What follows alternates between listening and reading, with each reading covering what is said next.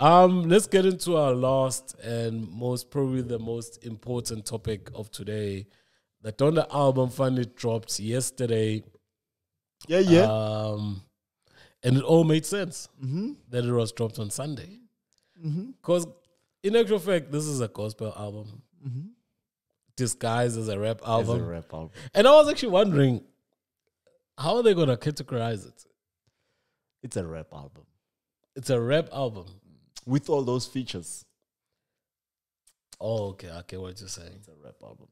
You But see, the content of it, yeah, the content is, because because there are rappers that rap.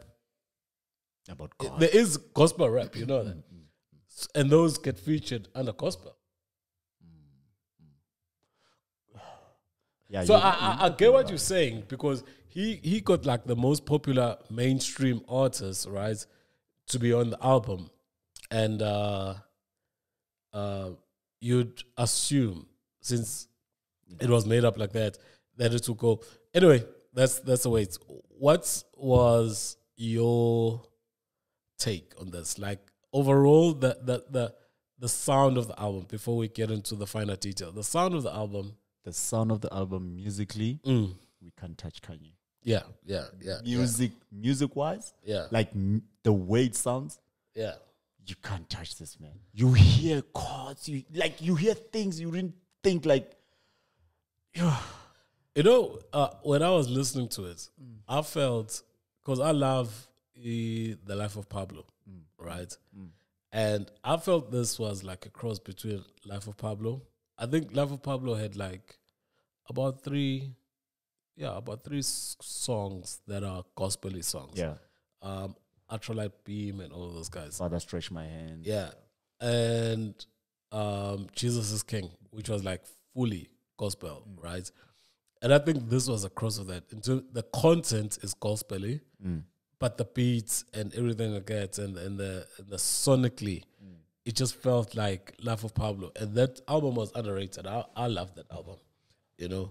So it sounded good. And it shows that it's like it's like when you've gone through like high school uh, and you didn't fuck around and and you passed well you know so graduation is grade what what uh, you know uh, 808 is grade 8 uh, and all of that stuff. Oh, this is like matric final shit. and you're icing it. yeah and he aced it bro. And he aced it and he aced it. Um the length of the album. I thought it was gonna be a problem, to tell the truth. Mm-hmm. I thought it was gonna be a pro. Imagine you get track number because the obviously the opening is just him chanting Donda, uh, and then yeah it's not really him but yeah yeah, yeah, and then track two, it's him and Jay Z, yeah right? yeah But then towards the end of the of, of the album, you get a jail part two. Yeah. Just when you think the album is in decline, yeah you get that kind of a song. Yeah. Um. So back to my question, the length of the album. What did you think of the length of the album? I didn't I didn't see a problem with it. Okay. Because I saw a lot of people like comment that it's too long. Because it's, it, I think on the last count we what we saw it now. It's on one hour forty nine minutes, right? Um, in an era where a lot of albums are around the forty five minute mark. Uh, that's an average of an, an of an album now. And to think that his last popish, if you want to call it, album was seven songs, mm. right? Mm. The one way he says, Kanye puts, Kanye, this guy's a fuck up. He said the cover of that album, Yeah. he did it, he took a picture when they were going to submit it, mm. right? He took a picture on the road of the mountains Yeah. and then wrote, you know the cover Yeah, yeah, yeah. Um What is what is the name I'm of that album? bipolar, it's so it's so awesome. Yeah, what was it? What was the name of that album? But it said seven songs. It was wasn't it Jesus? Okay, Yeah, Uh, it was yeah. yeah, yeah, Yeah, yeah. yeah, yeah. So, uh, and, and and now the the cover of this album is just a black screen, yep. and also he doesn't uh, show the features on the track list. Mm. On the track list. and I heard that he actually made that on purpose because he wanted people to listen to the whole album. Album. because if you show like the features, then people go directly to those. Oh, I like DaBaby, boom. I like this one, boom. I like that one. So it was pretty smart. Bruh. But I think we still need a cover, man.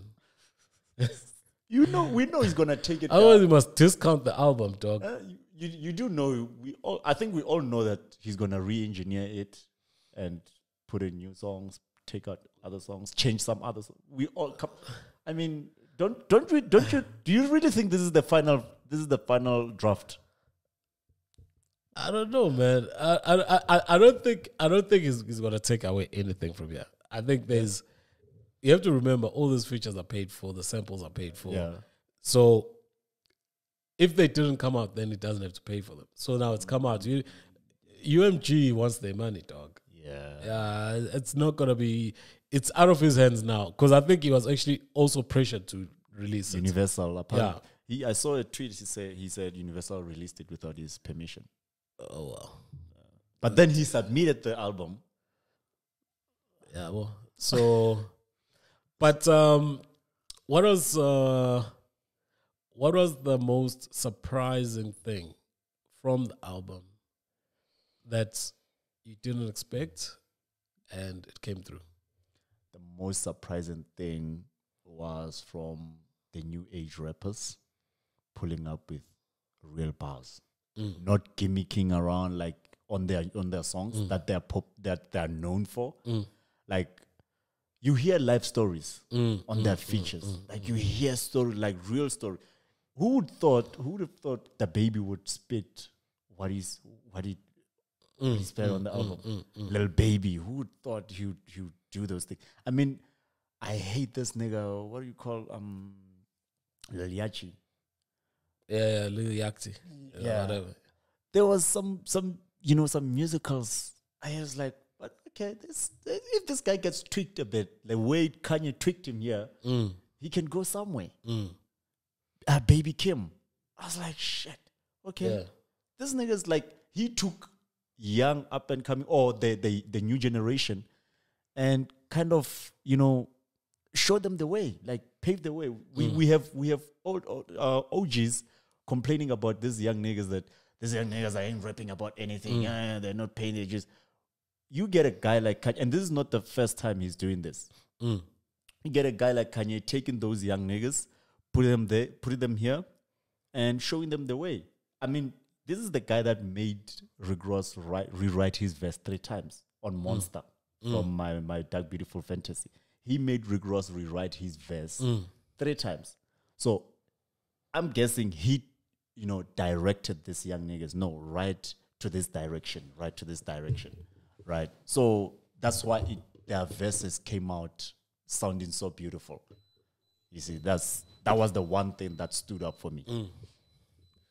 Um, for me, what stood out, uh, uh, you know, it's to be expected, but also it surprised me, right? Um, the features, okay, were very much the who's who of the people that are uh, uh, are in the zoo now, right? The the Jay Z feature still surprised me because there was a, a part where they say they taking it out and um, it still came through. The mere fact that they actually worked um, on a song together that surprised me. Um, surprised me the Marilyn Manson.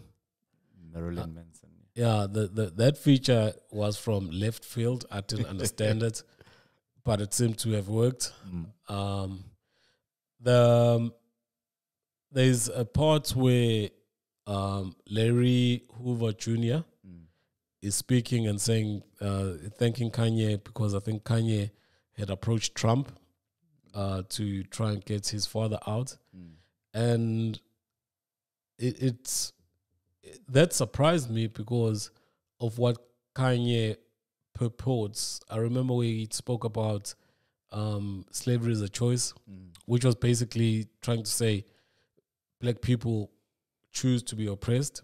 And if you understand what Larry Hoover said, or what Larry Hoover is in jail for, um, drug trafficking, um, killing people, and all of this stuff, that goes against that sentiment. Understand? Because we always want our communities, especially as black people, to uh to do better. You know, so if now you're gonna embrace someone whose actions were to the detriment of black people, that's that's kind of odd. The DaBaby feature, which was suspected to have helped back the album because there was a back and forth between DaBaby's manager and Kanye's manager and U- UMG. Uh, they weren't really happy with the with the song there and so forth and so forth. That surprised me because it seems like the stuff that that DaBaby verse, it really does. Basically, DaBaby is saying like y'all are, uh, are stopping my free, uh, what is the free speech? Understand? And y'all are taking uh, food out of my kids' mouth and so forth. And why it surprised me is that why would Kanye take such an important uh, project for him, Donda, named after his mom, and bring this type of controversy into that? So we talk about the the two controversies. If you know about Marilyn Manson, right, he's not the most upstanding gentleman, and now you add DaBaby, and it seemed like DaBaby was just recently added. If you actually listen to what he spits, you know, it's not something that was done two months ago. It's it's after this issue with him with the LGTB, and to take that risk, you know, that's that actually surprised me. Um, uh, because people are talking about it, and now it's it's, it's I don't think it's bringing the right attention to the project of this magnitude. Understand? I think this project is probably more important than the earlier projects of Kanye because it means so much to him. It it's it's got his mom's name on it. Understand? And to bring that negative energy around it, you know. So that that surprised me. So those those those were the surprise in terms of the features. Um but sonically I'd asked you that the album sounds dope, man. Like I said, it, it to me it's like it's like he's gone through his schooling, learned all the tricks, learned everything, and with his talent now he's doing his final exams and he's just the results have come out and he's aced it, you know. Um, so yeah, man, congratulations to Kanye. We're gonna play out now with what I assume. I think we spoke before. Our favorite song. Yeah. Okay. Um, it was my favorite song. He Gautier told me it's his favorite song. We didn't sit and yeah discuss it. Our favorite song, which is a lot of people say they like uh Lil Baby. they like the Lauryn Hill sample, uh, which was, if I'm not mistaken, what's the Lauryn Hill s- sample? Um, what is it called? Come, tell me, tell me, tell me, tell me. Um, no, wait, wait, wait, wait. What are you doing? Uh, believe what I say. That's the Lauryn Hill sample, right?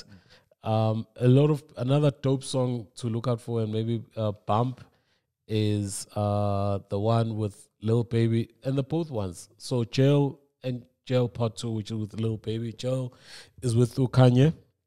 All right. Um, I also like Jesus Lord, Mm-hmm. which is quite dope. Very dope. And uh, by the way, I think atheists are gonna have a problem with this album. They don't know if to dance or not to dance.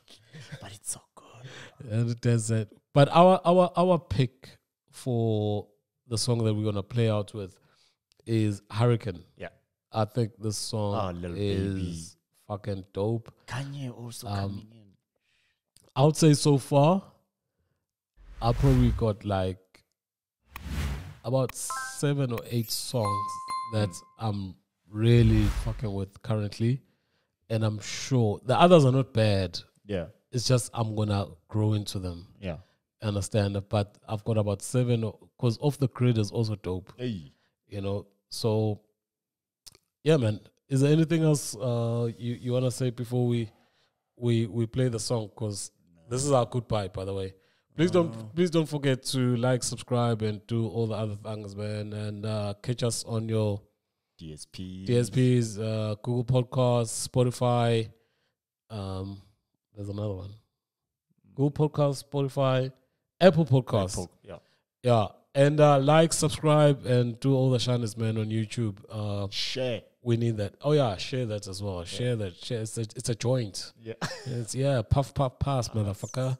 Yeah, so Hurricane, and it, who is it feature again? Lil Baby and uh, Yeah. the Weeknd.